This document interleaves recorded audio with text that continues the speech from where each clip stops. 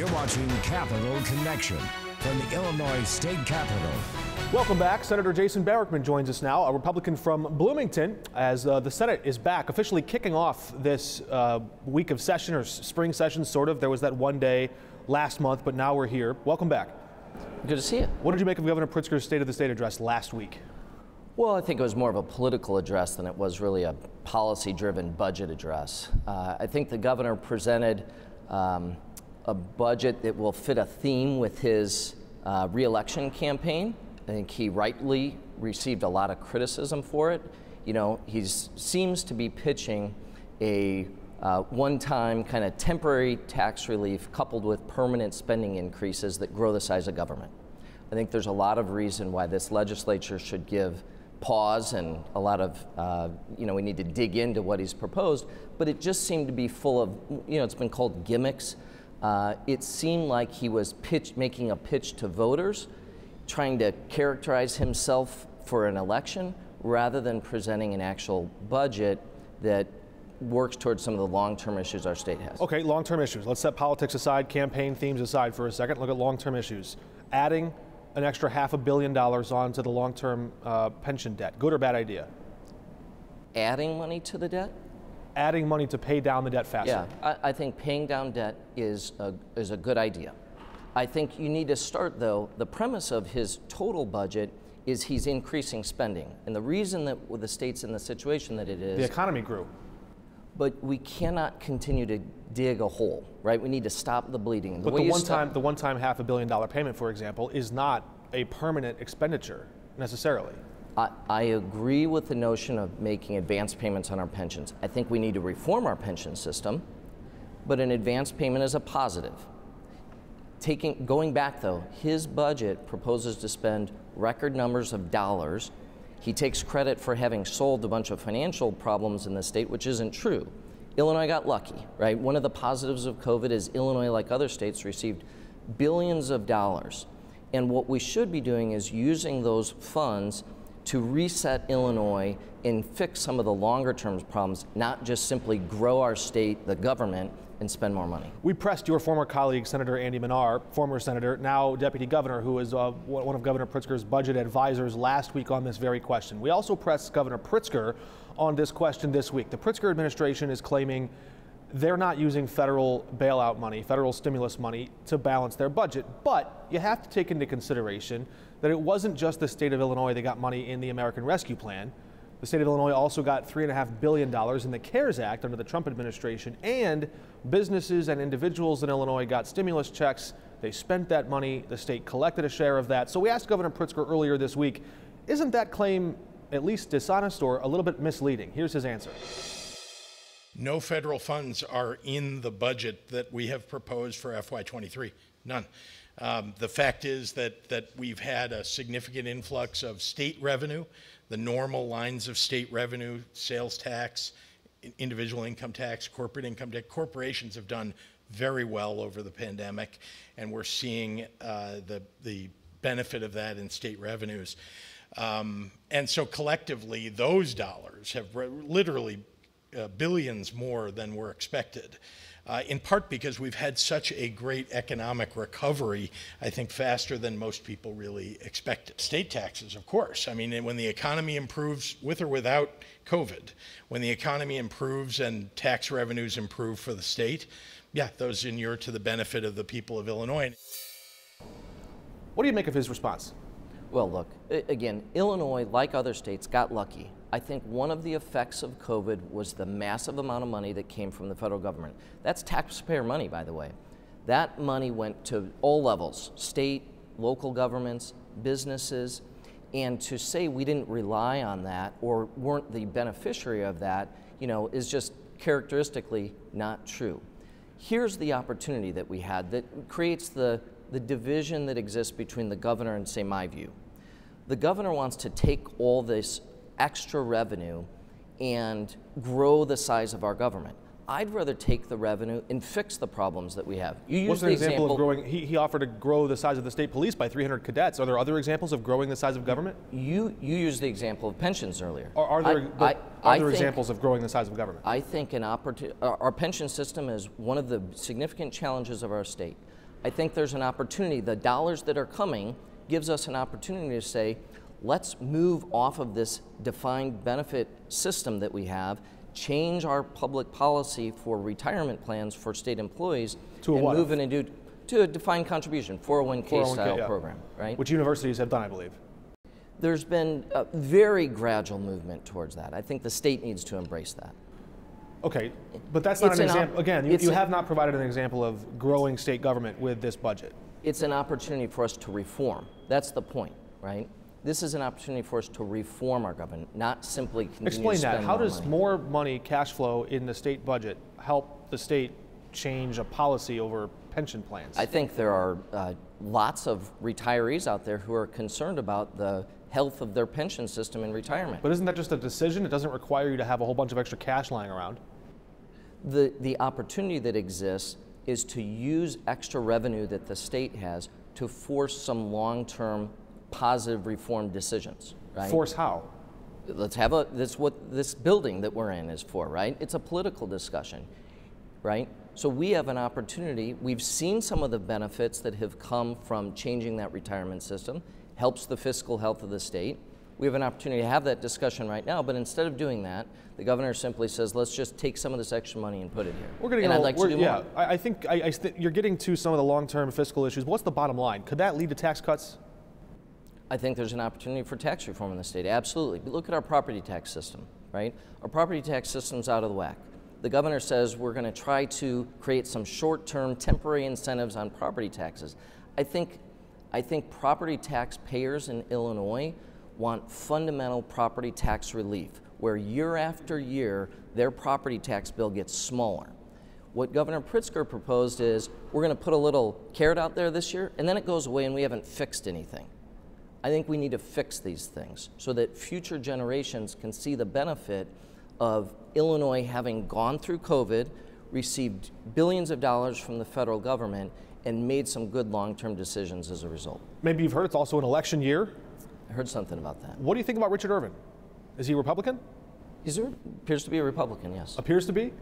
Well, I haven't searched his record. He's presented himself as a Republican. He's got lots of policy issues where he, uh, where there's an alignment with Republicans. He looks like a Republican. Uh, who of the candidates could you vote for right now if the election were today?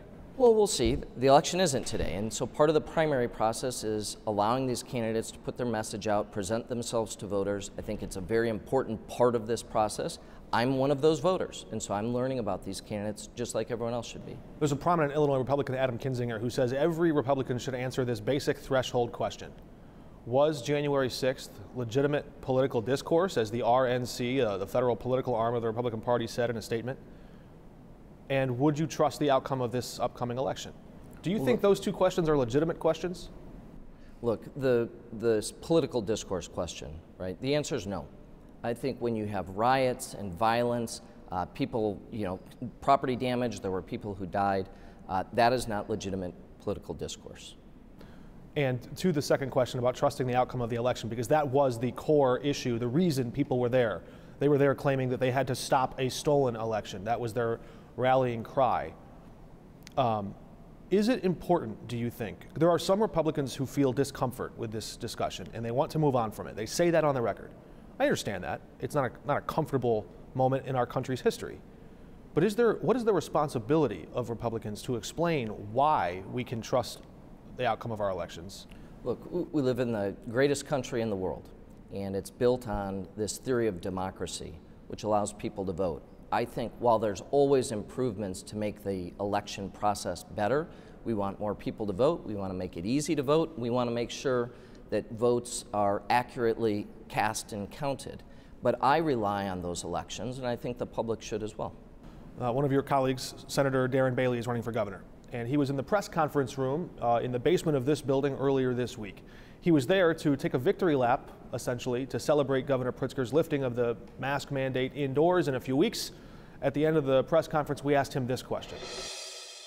With this whole situation. legitimate political discourse, and will you, Come on, will you Mark. accept the election results this year? Will you commit to accept? Let's talk. Let's let's not. That's, this conf, this is over with. I've told you from day one, you can't ask a legitimate question and report the truth. It has nothing to do with what we're here. Thank you very much. Will you accept the Thank election you. results? Will you accept the election results? Senator, you're running for governor. Will you accept the election results? Why can't you answer that question? Should Senator Bailey answer those questions if he's running for governor?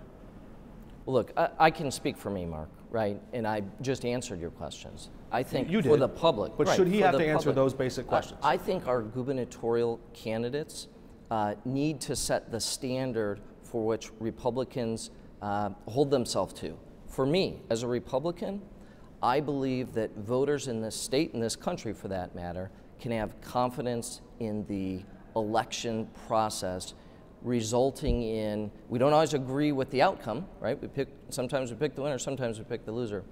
But the process has worked for generations and while we'll continue to look for ways to make it better i think it's something that the public can and should rely upon. All right, there's going to be a lot of debate in this building this year, this election year, about crime, and especially exploring the impact of the crime bill, the police reform measure that passed in January of last year.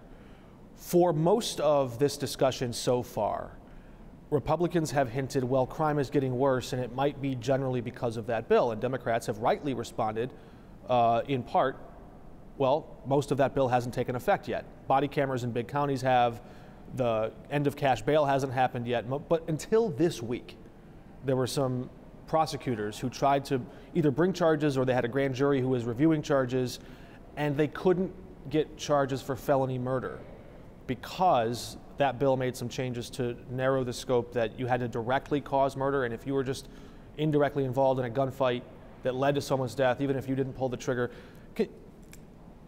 isn't that still a fair? Isn't that still justice? If someone didn't actually pull the trigger that killed someone, why should that person be charged with felony murder? No, I, I think this is a horrible shift in public policy that's occurred. Look, when people, uh, and adults especially, right, who take actions, there are consequences from them.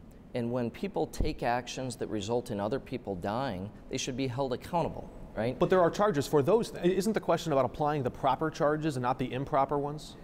But the but to me, the prop in the instance that you raised, the proper charge is if an individual conducts a crime which results in someone dying, maybe they didn't pull the trigger, but someone died, then yes, I think they were uh, a principal reason for which the person died, the cause of it, and should be held accountable, including, again, subject to what's happened, but including with murder charges. And in this case, this person was sentenced for, or, or would be sentenced for a crime that could go up to 18 years in prison without parole, so there would be consequence. I don't want to give the false impression that there would be no the, consequence. But to the victim and the victim's family is the consequence of the actions they committed, the crime that they committed that led to another's death, is the consequence of that significant enough if the person is sentenced to 18 years, right? The, the result to the family and to the victim is that someone died. And someone died because someone else made a series of bad choices that resulted in someone's death. And I believe that, uh, especially given the world that we live in, where there's a, this tug of war that exists between those committing the crimes and those in law enforcement who are trying to keep us safe, I think, led by Governor Pritzker, Illinois policies have shifted in favor of the criminals. And that sets a very bad tone, and it has a very uh, personal impact to certain people, including the person in the family who died in this instance. I appreciate this conversation because we've been talking about some of the specifics and the policies and the laws. There's also campaign season and there's rhetoric. Richard Irvin has held a few different interviews recently, and he's been running on this tough on crime platform. A former prosecutor, also a former defense attorney. He's been involved in, in courtrooms quite a bit. Um, he pointed at this crime bill, and then he pointed to the eight police officers who were shot in the line of duty in the last year. And he sort of, sort of casually made a reference like they were related. Do you see a link? Well, I, I'm not certain on the, the instance that you're pointing to on there. My, I, don't, I don't know Mr. Irvin, but I know that he's been characterized someone who's been tough on crime, including in his city of Aurora as But, the but mayor. to, to the question, do you see a link between Governor Pritzker signing that bill and police officers being shot? Yes, I, I think the governor loudly proclaimed a shift in public policy in this state that has, for some people, allowed them to do or uh, enabled them to do things that they otherwise wouldn't do.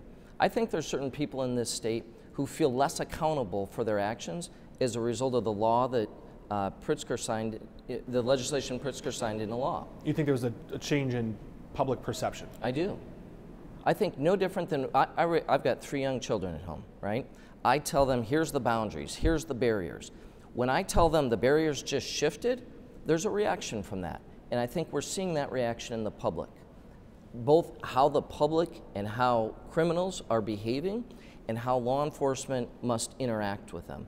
I think as a result of Governor Pritzker's uh, pro crime law, the criminals feel enabled and those in law enforcement feel as though they've been restricted. And look, the result of this isn't campaign rhetoric. The result of this is that we become less safe.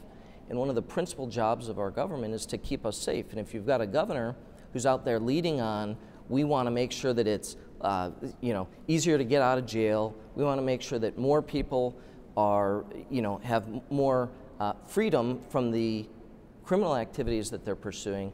There is going to be a result in the public from that.